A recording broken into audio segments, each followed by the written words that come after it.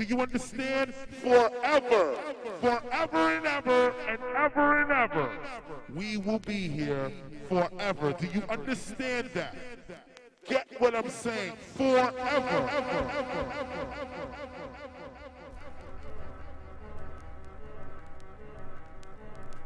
In a few moments, you will have an experience which will seem completely real. It will be the result of your subconscious fears transformed to your conscious awareness. You have five seconds to terminate this tape.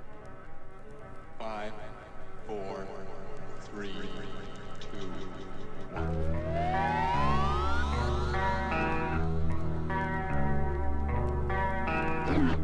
one.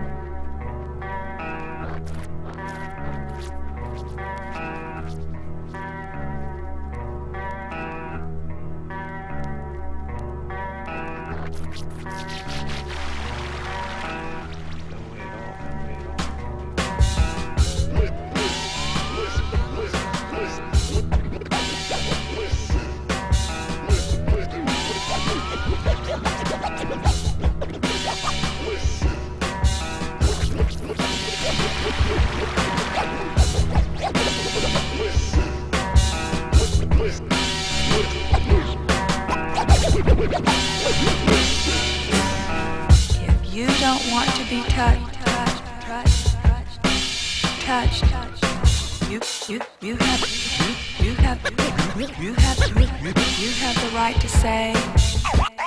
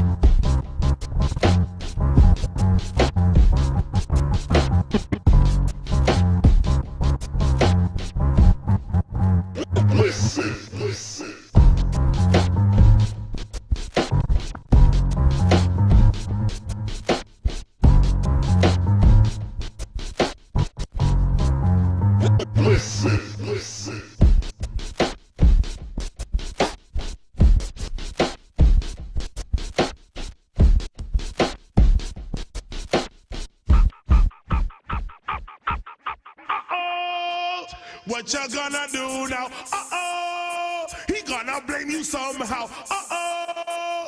What you think you're gonna say? Uh-oh. Now I'm cutting you away. Check.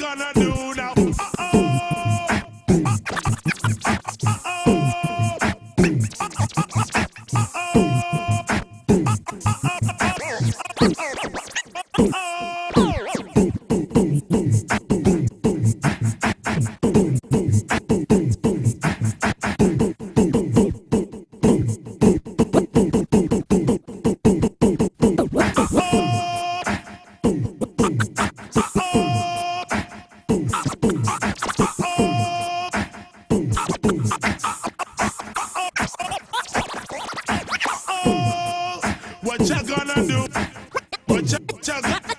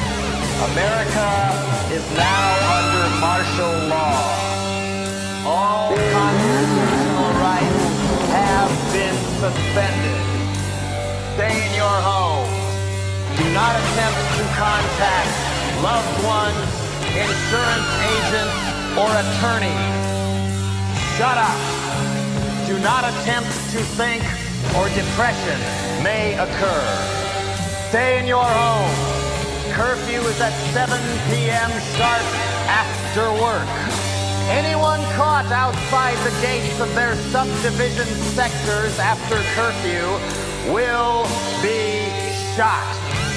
Remain calm. Do not panic. Your neighborhood watch officer will be by to collect urine samples in the morning. Anyone caught interfering with the collection of urine samples will be shot.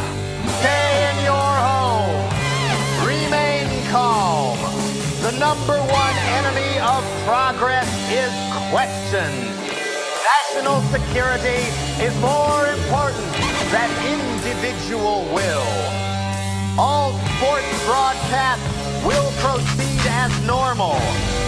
No more than two people may gather anywhere without permission. Use only the drugs prescribed by your boss or supervisor. Shut up! Be happy.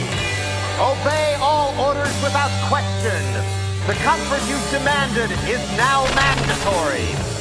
Be happy. At last, everything is done for you.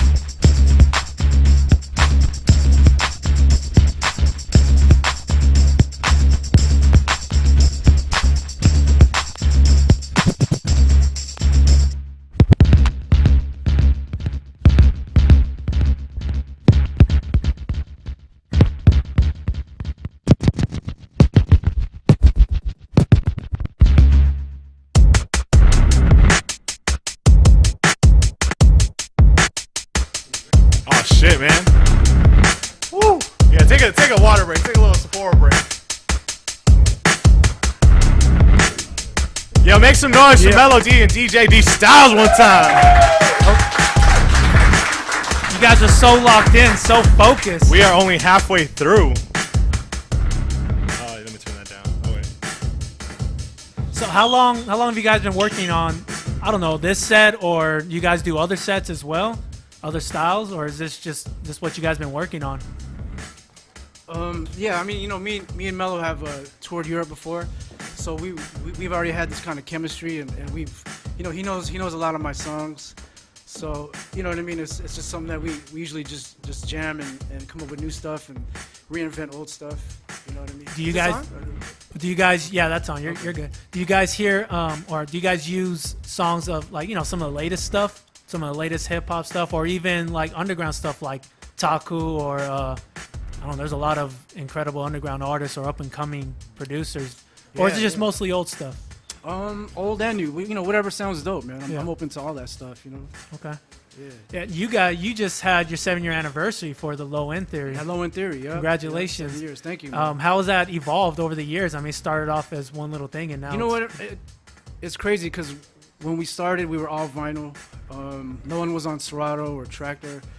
And then a year or two later, you know, we, we evolved and we got into uh, using uh, Serato. Uh, and, uh, you know, we, we've, we've had to keep up with, with basically with uh, technology. You know what I mean? Right. Nice man. And who were um, who was you guys just? What, what was the last uh, the seven year anniversary? How long ago was that? Uh, two weeks ago. Two weeks ago. Who was your guest for that? Who, did you bring in someone big and special? It was just all residents. It was just us. Okay. Yeah. Dope. yeah, yeah. Okay. And you you just uh, not just, but do you plan on bringing out another turntablist album? I want to. Yeah, I'm actually working on a new album right now, so Okay. I'm like halfway done. Okay. Is it some of the stuff that you guys are doing here now, or do you plan Uh, something completely different? No, actually different. Actually Okay. different. Yeah. Dope. yeah. Cool. And what's and Melo? We got some questions for you. Um, you recently uh, joined up with uh, the all, almighty powerful scam artists. I did. Shout out to them. Yes. Um, what you got going on? Like current any residencies going on? Um, uh, As far as the club, the club yeah, stuff, club scene, yeah, yeah. Um, it's pretty much like I'm on a rotation Okay. basis. Um, it's been really good to me. Um, shout out to the Scam fam. Yeah, someone yeah. out there watching. Um, but pretty much uh, the way it works, um, modern day. I mean, I'm sure you guys know. You guys are in the mix, you know, with those venues. But Yeah, yeah. um, it's pretty much like a lot of the the more upscale clubs. They'll rotate DJs like you know on a four or six week basis. Right. So there's a lot of spots. There's been a few good places that I fall through like every four four to six weeks um, from the East Coast to West Coast. So. Um, um, yeah, I've had the pleasure of playing um, quite a few of the uh, reputable places in Vegas, um. Tryst, um, Bank. Um, I was at Hyde a couple weeks ago, so kind of mixing it up out there, and um, they've also helped place me like in other markets where I'm where I'm new. Yeah. Um, which is like Miami, where I've been a couple times over the years, but as Yeah. far as being something consistent, like regular, um, I've done a, a couple places out there, um, Chicago, and just kind of bouncing around, you know. cool. Within And uh, my notes say you have a new mix CD. I do. I brought some. oh, well, Oh. that answers my. get too drunk. and forget it, 'cause- There goes, there goes the second part of my question. Where can we get it? But uh, anywhere online for anybody else who's watching. You know what? I'll probably um I'll probably upload it to maybe like my SoundCloud or something and like blast the link. So you know, because again, I just I just press hard copies and it's, Cool. it's pretty much for promotion, just to kind of like highlight what I do like in the nightclub scene. I'm totally gonna rip Um, it and upload it before yeah, you can. I- I- Get all get all the but drops. yeah. I'll, I'll post a link up probably like sometime this week. Okay, dope, cool. And then it has. How have you seen your turntable skills kind of put into your club scene? Like, do you put it at all? Do you scratch it all? Do people enjoy that more? I know that can differ, but what, what's your take on it? we were just talking about this last night. I mean, honestly, for for what I do, um, my job, my role there is kind of just to kind of play the room and just kind of keep the party cracking. Yeah. So nine times out of ten, I mean, people, particularly using Vegas, Vegas as an example, they're Right. coming just to party. You know, like there's probably a couple heads that might appreciate something like that, but again, the majority of the crowd is just kind of there to hear their songs, you know, catch a vibe. So um, I usually just kind of just try and keep the floor moving. Yeah, I don't yeah. really push too too much. Maybe little subtle things here and there. You mean you're not a selfish, prideful DJ that, that just wants to play Try what he not wants to to, be. I play? not to be. Well, that's what these kind of that's what these kind of things are for. So Yeah. get it Yeah. off my chest. Yeah, Absolutely. absolutely. So you guys are. Well, never mind. That's just gonna go back. D Styles, can you give us the answer to my question? Who was the first DJ group you joined? The first crew, Beat Junkies. Beat Junkies, and then it was Junkies. Scratch. Me, me and Pickles. Shortkut joined the Beat Junkies, and then we joined the Skratch Piklz. Where, Later. where did you guys get recruited from? Uh, we met um, all at the '93 DMC battle in LA. We, we met uh, and uh, curse, and then we all just kept in touch. Um, they would invite us down to LA for, for parties. We would come out. So you know, we were all just good friends, and then they, they asked if we wanted to be in the crew. You know, And you guys had a tour not too long ago. Had, uh, the Beat Junkie tour, correct? yeah, yeah. And how? What were your some of your favorite shows or some of your favorite cities that you went to? Like, where'd you get the most love or the most you know feedback from the uh, crowd? I think Japan is always though. They're Really? over the years, like maybe 10 years ago, they're really conservative, but now they're really like starting to get wild and like ratchet. You know what I mean? Wild, wild and ratchet. Japanese people getting wild and ratchet. I love it. Song right there. Copyright right now, So, DJ. Collab. You know, I'm not the only DJ that's curious to know. So I've, uh, a few DJs have asked me, uh, "Have you ever battled Qbert?" Me? Yeah. No. Oh yeah. Actually, yeah. Uh, 88. 88? Yeah, it was Uh, this is back then when it was like sound system battles, like a Okay. mobile battle. So every every DJ crew had to bring their own lights and sound, and uh, we actually battled. Um, Is this like like And he- garage, some, like a garage type? no, it was like an outdoor. Oh. uh, oh, okay. Event. community center. Word. You know what I mean? And, and uh, that was the first time I had ever seen him, and he he kicked my ass, man. He was Really? so fucking ahead of his time, man. Wow. I'm kind of curious. Uh, joining the cruise, either either one, have you had to battle anybody to get in, or is it just kind of like, hey, you got skills, get in, or I want to know. In. Yeah, yeah, yeah, not that cool, not that kind of crew, but you know. Nah, it's kind of like what he said. Like he hit it on the head. It's just like we come from you know a day and age where it was all kind of just founded off of just like you know connection through music and just vibing out, just Right. hanging out, practicing at D's house. We would take trips to the Bay. Likewise, they would come down and practice, and we just all meshed well together. And we just it was J-Rocc's idea, just like. Man, we hang out all the time. You guys scratch, he scratches, we scratch. We play the same clubs, like locally out here. We were seeing each other at the same night, so he was like, "Let's just start a group."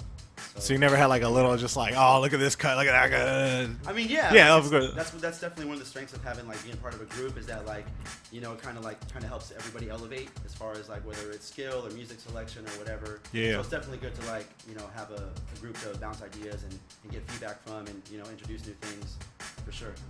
Do you think there's a reason why not as many DJ crews are coming out these days, or maybe you don't hear about them as much? Do you think I, I you feel like that's kind of like kind of lessened in the last couple of years, or what's I your take? Yeah, it seems like the battle scene is is, is sort of um, like taken back, and it's it's, it's more like DMC is not as, as big as it used to be. Yeah. Uh, the three star battle is kind of bigger now, and, and so you know what I mean. There's there's, there's Yeah. a lot of changes. You know what I mean? Well, what do you think about the three style? Do you think it's evolved into something you know great, and it's going to continue to move forward with great competition coming in? I think it's going to continue forward, and I think I think s- I think skills are going to come come more and, and be more of a factor. You know what I mean? right.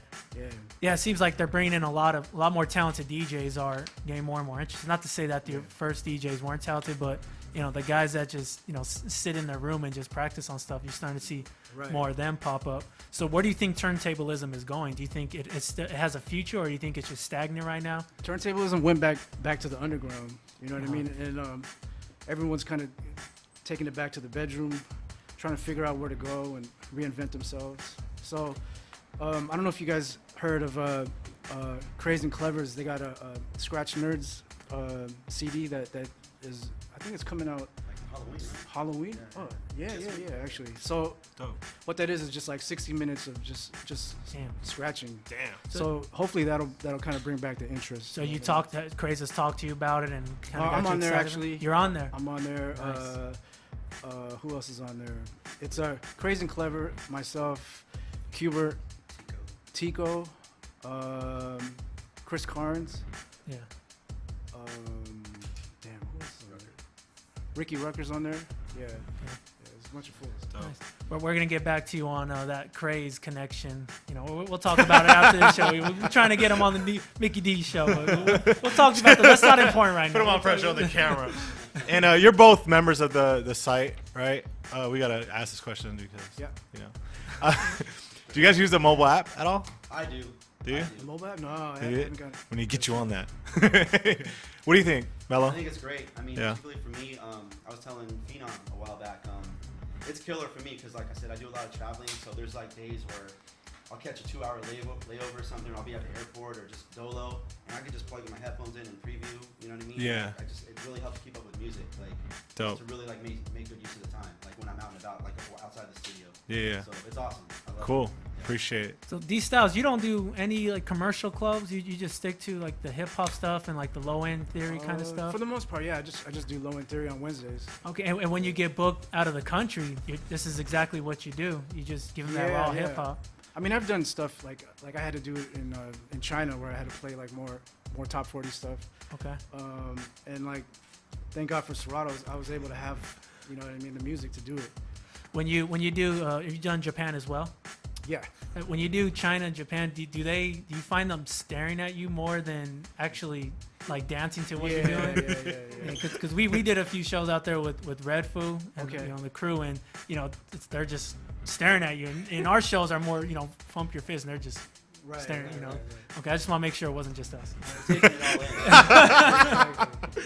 um, Word. so now we're gonna let you get back into it but before we do we have another trivia question for some more Serato gear and this one uh, is related to Melo D what was the name of Melo D's first mix show on 92.3 the name of Melo D's first mix show on 92.3. You have to tweet your answer and hashtag MikiDz Show, and we will Melo D will give us the answer when they're done with this set. All right, you guys ready to get back into it? Here comes the second segment. It's the MikiDz Show. DJCity.com.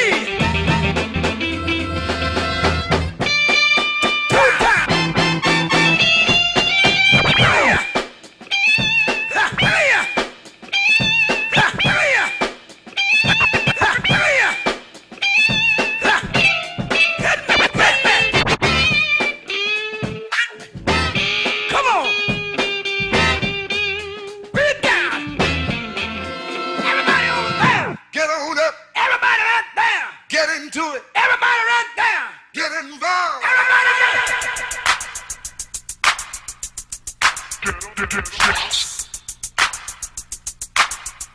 touch that stereo. Don't, don't,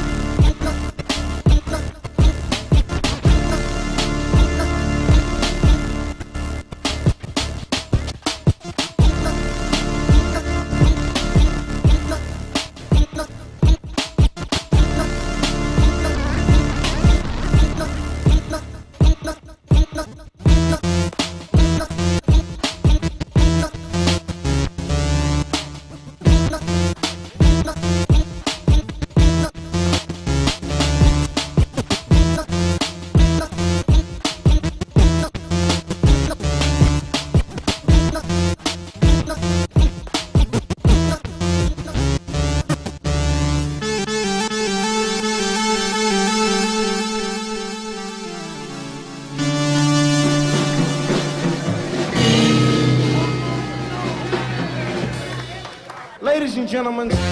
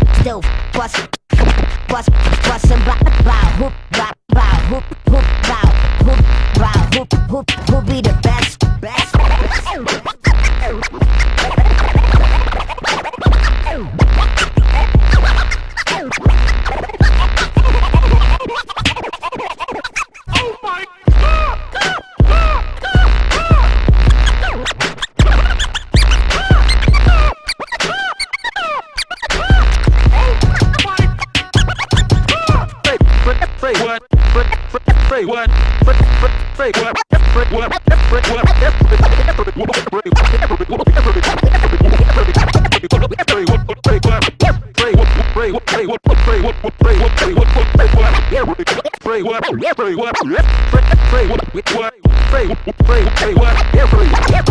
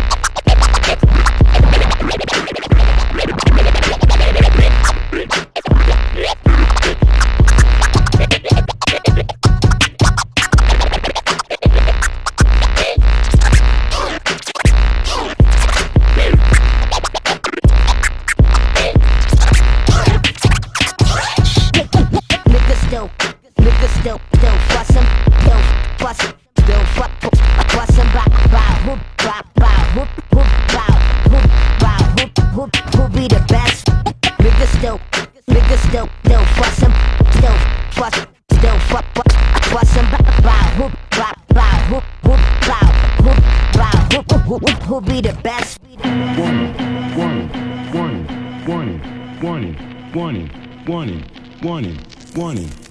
The Surgeon General of Chilltown, New York has determined that the sounds you're about to hear can be devastating to your ear. ear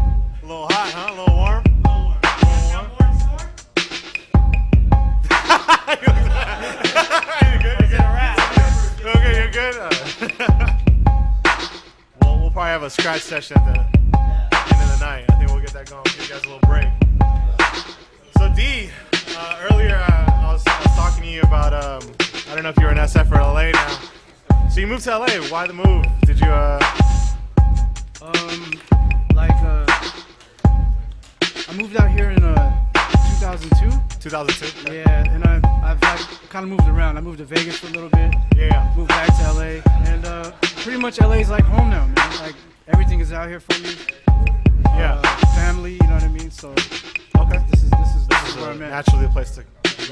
Now, are you still keeping up with like all the DJs out there?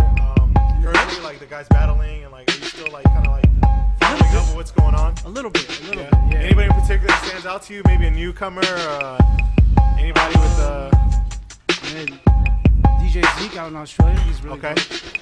Yeah, Ken One out in uh, Japan. Miyajima out, out in Japan. word? Um, how do you remember some of the, the older routines, man? Like, do you just do you still kind of keep them fresh here and there, or like Man, I, you just kind of go off with this instinct now? it- it's instinct, but I'm, I'm always there's a lot of errors, a lot of mistakes, man. So I, was, I was pissed off because I, I messed up. Wait, where? So can I can I push that a little more? I mean, like it seemed like one of those tracks was from uh, Phantazmagorea, right? yeah, So how do you remember the routines and the, the cuts? And because for I mean, I, I know that record, and it sounded like pretty much you were on point for everything. Like how like all these years later, how do you remember those phrasings and those those mean. And, well, because on the vinyl everything's just kind of laid out, so it's pretty easy. And then uh, you know the patterns, I'm, I'm just trying to keep it simple. You know, I mean? almost like a melody. So, so I kind of memorize it like a melody. I guess. It's just easy, man. Laid out on the record, dude. Look at the record styles. Jeez. Melo. Uh, oh, you- you're, you're kind of. You're good. All right, cool. So you uh, you actually went to Vegas, uh, quite some. What? How many years now? Um, again, I, I've been playing the club circuit out there since um, 2006, Okay. and um, at what point it turned into like more than one night for me. So I actually got a place out there. So I bounce back and forth. I mean, this is still home. I'm born and raised out here. I'm Right. a California kid. Yeah. But, um, but I do go back and forth a lot. So depending on my schedule, I'm here sometimes half the month, sometimes a week out of the month, sometimes Yeah. you know the whole month. It just it just really depends on what I have going on. Yeah. But um, it's definitely been cool to um, you know, kind of learn a lot about um, being out there so much, and, and again having the opportunity to play for um, a lot of the clubs out there. are Just kind of you know the the circuit is very small. A lot of the same people Right. are all connected through Yeah. you know, a few degrees of separation. So it's been a de- definitely a good learning experience. Yeah. know. So I, I've been one of the fortunate ones to kind of be out there and just um, be networked in and be doing it and, and get a chance to. If I'm in town, I can step out any night of the week. If I have to go there for two days, for a Tuesday, Wednesday, there's at least three or four things happening. You know what I mean on either night. So it's been Yeah. good. Well, I'm So- curious to know, like, for the, Vegas was known as, like, once upon a time was known as the city to go to as if you want to get your career, you know, if you want to get noticed because there were so many clubs out there. Right. And now there's, I mean, there's still more clubs, but you know, the house DJs have taken over. So guys, you know, like Mickey and I, you know, there's not much room for us anymore. But do you still think that it's still a great place to get things popping for your career, or do you, do you think there's way more levels than before, and you're better off doing it somewhere else? I mean, I, I think you hit it on the head just with there being so many DJs now, and um, you know, again, so many nightclubs. There, there definitely is, particularly in Vegas. There's um, there definitely is a, a big, a big presence of EDM, you know, DJs and stuff. But um, to answer your question, um, I think it's still good. I mean, it's still, you know, if you can go out there and you know put an XS or you know a Tao or something like that like on your resume. I mean, it's definitely a good look. You know what I mean? Like, um, and it's definitely like I said, a good experience. Um, and it can probably do a lot to, or at least something to help catapult you into other markets, or you know what I mean? Again, something you put on your resume. So And, and it's inexpensive to live in Vegas, so you get five, totally. 400 for a gig. I mean, Sometimes when I'm broke, I'll just stay rent out there for like a week. If I have no money, I'll just stay there for like a week. Like, Stay away from the the poke. You still heavy on poker? no, no, I kids now, so you know. But I miss it. But I mean, You don't it's not. sneak away. We, you can tell me after the show. You okay, maybe we're off there. No. So, you guys didn't just come up with this this morning. How long uh, did you guys put into it uh, as far as the routine goes? When did you guys link up? Um, Yeah. We saw the Instagram videos. That was awesome promo for us. Thanks, man. Yeah, we linked up last week um, a couple times, and then and then earlier today. Earlier today. So probably like three times. Maybe. Yeah. Dope, man. You guys, man, routine was awesome. Thanks for having us. We uh, Thank definitely you. we're glad to make the time. Shout out to to Buys One in the building Yep. for uh, having the, the idea. And um, it was definitely one of the best shows we've had, man. So we appreciate it. Have you guys hang out for a bit, and uh, we'll uh, we'll let the guys talk to you in the chat room. Oh, we gotta get the answer. Um, what was the name of your first Oh, mix show? It was uh, the seven o'clock menu mix on uh, 92.3 The Beat Yeah. Here in LA. first one to put that on Twitter, then you're gonna get some Serato stuff. Actually, real quick on that on that note, at that time, man, like a lot of, oh, I'm not gonna. All the DJs now on the radio are great too, but at that time, you were definitely going up with some of your like, you know, fellow, either crew members or, like, what was like probably one of the better times you remember, like just battling at the same time, like kind of for like time slots, like maybe you're on the beat and somebody's on power. Um, I think just in general, um, I think it was just a, again, not to take anything away from radio now, but um, Right. I think it was, um, I think it was just a better time, at least from a, a DJ like a mix show perspective, because there was definitely a lot more freedom. Yeah. You know, and even to this day, this many years later, um, you know, I still get, um, I'll slap hands with like younger kids or people that you know heard me on the radio, and they remember like the Slum Villages, the Quasimotos, the Third Sight Records, like just Yeah. kind of like the eclectic, you know, singles I was, I had the freedom to play. Yeah. Um, so I think, you know, in retrospect, that was probably like the best thing about it. And I mean, and that, you know, that was pretty much universal across the board. It was like, there was definitely like, you know, Vice, E-Man, um, I think Reflex was on Power back in the day. Um, but I mean, we all had, like I said, a lot more freedom. So whether it was an R&B record or, I mean, even if you had a gig, you could like jump on the mic, yo, catch me at the club, I'll be at the club. they don't really allow that stuff anymore. It's Right. crazy. So it's just like, it's really micromanaged a lot more now. So, and I've talked to, I've, you know, talked to, I know a couple of the guys, um, um, that you know work at stations out here, and, and they kind of say the same thing. They feel a little bit handcuffed sometimes. There's only so many ways you can mix OutKast into you know Ciara and then Ciara and- or whatever the you know, the Right, current whatever they're records are. playing, yeah. Like you know when you're kind of confined to 15, 20 records, you can only get so creative. So Yeah. Um, but yeah, I think that was probably that probably the thing that stands out the most. Just having the, the freedom to kind of Yeah. play whatever whatever I wanted. For sure. Dope. Within reason. Yeah.